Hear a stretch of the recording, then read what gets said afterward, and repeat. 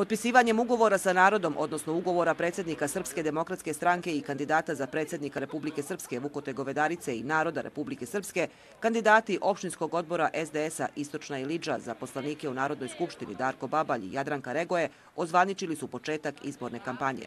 Ugovor su potpisivali i stanovnici Istočne Iliđe, a među prvima potpis je stavio starina Gavro Erić. Ja sam SDS-ovac od malena, jer ja sam Srbin nisam ja Dodik.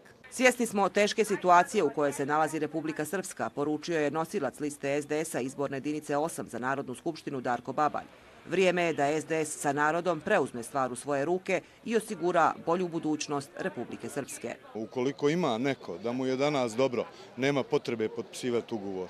Znači, dobro pogledajte ko smo mi, ko su oni i odlučite se sami, mi se nećemo ljut kako god da bude, ali sam ubijeđen u pobjedu. Na sva četiri nivoa, gospodine Govedarcije, gospodina Ivanča, Narodne skupštine i parlamentarne skupštine Bosne i Hercegovine. Pa ja se nadam da će narod potpisivanjem ovog ugovora e, raskinuti pakt, jedan već postojeći to loš pakt i da ćemo od oktobra mjeseca imati nešto što u cijelosti odgovara srpskom narodu. Očekujem da će Republika Srpska biti ono što je Istočna Iliđa kada je u pitanju e, odnos e, građana Republike Srpske prema Srpskoj demokratskoj stranci, da će tako to prepoznati i cijela Republika Srpska. Kandidati SDS-a obećavaju da će se kao budući poslanici Narodne skupštine zalagati za jednaka prava svih građana Republike Srpske.